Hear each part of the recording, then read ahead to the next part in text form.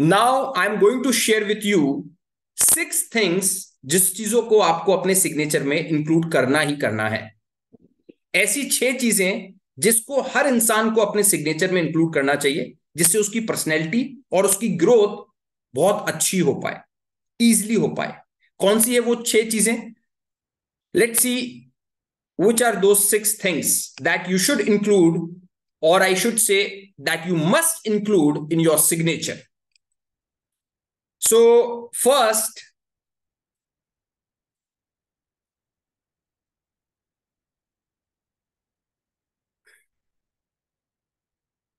कौन सी है वो पहली चीज़ जिसको आपको सिग्नेचर में इंक्लूड करना चाहिए?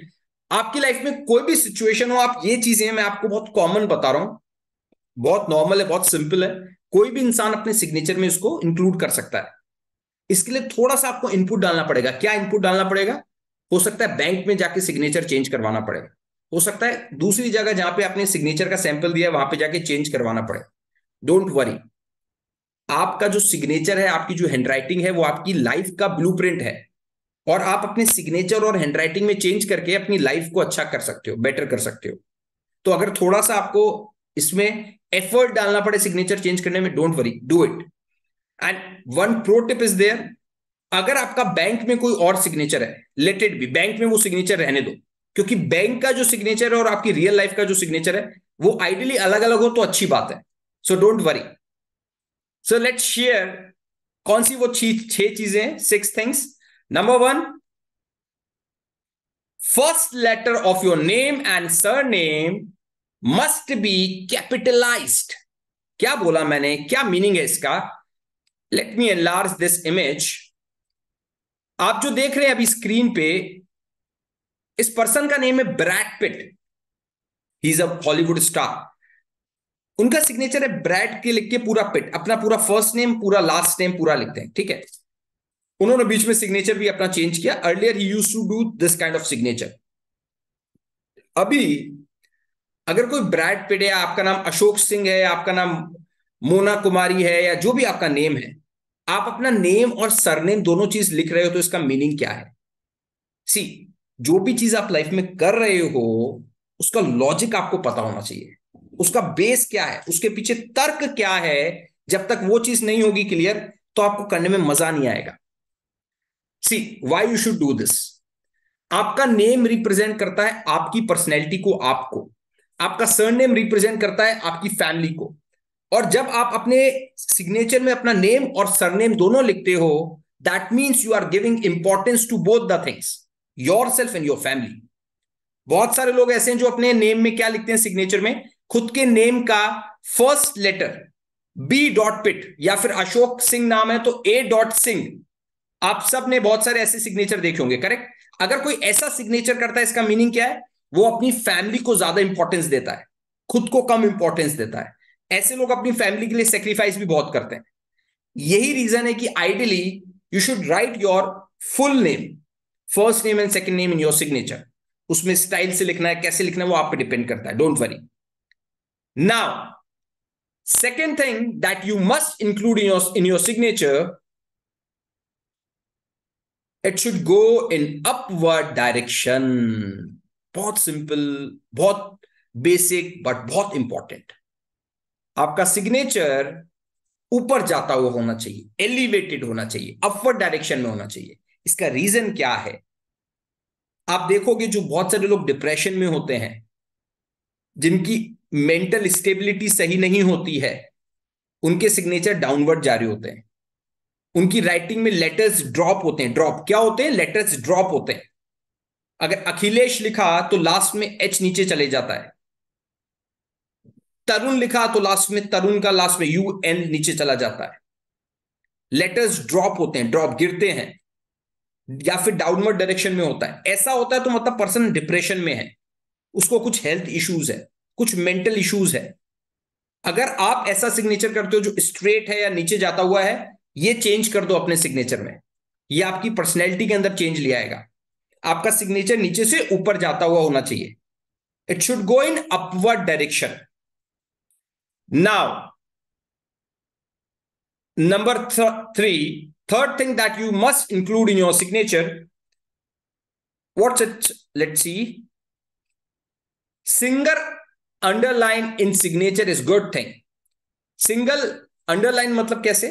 See it's written Rahul Iyer या आपका जो भी नेम है. For example Bhimesh Tiwari for example Shweta Singh जो भी आपका नेम है उसको आप सिंगल अंडरलाइन करते हो इट्स गुड थिंग अच्छी बात है. डबल अंडरलाइन करते हो इट्स नॉट गुड थिंग क्या रीजन है? अगर कोई डबल अंडरलाइन कर रहा है, वो अपने आप को एज ए लीडर थोप रहा है. वो अपने आप को ज़्यादा कॉन्फिडेंट दिखाना चाहता है. आइडियली अगर आपको अंडरलाइन करना है तो single underline is good thing don't do double underline in your signature आप मैं आपको सिक्स थिंग्स बताऊँगा, उसके बाद आपके डाउट्स लूँगा। आपके दिमाग में कई डाउट्स आएँगे, आपका सिग्नेचर में ऐसा है या वैसा है। आई विल आस्क जो भी आपका डाउट है, पूछना I will answer it don't worry then fourth thing जो आपको अपने सिग्नेचर के अंदर आज से, कब से, आज से, हर चीज़ अच्छी करने के लिए सही टाइम होता है, अभी।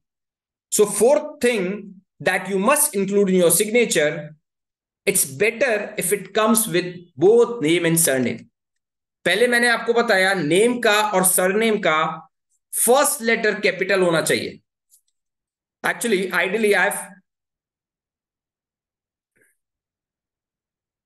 let's do this thing. It's better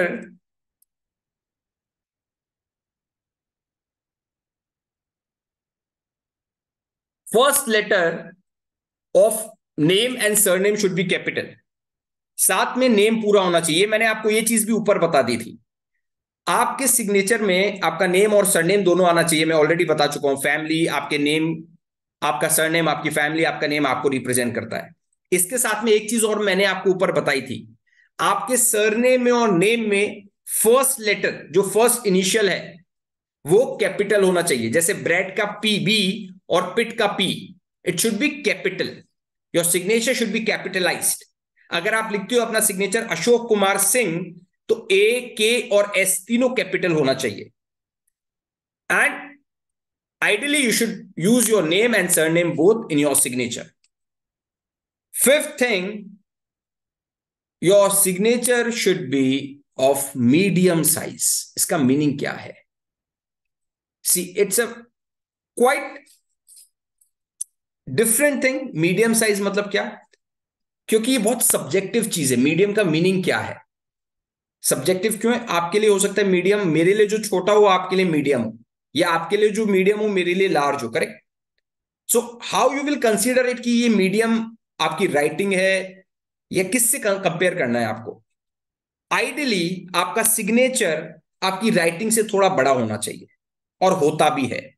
And it's a good thing it's a good thing बहुत बड़ा होता है, वो ज़्यादा अच्छी बात नहीं, और बहुत छोटा है, वो बहुत अच्छी बात नहीं है। It should be of medium size और किससे कंपेयर कर सकते हो? अपनी राइटिंग से कंपेयर कर सकते हो। Now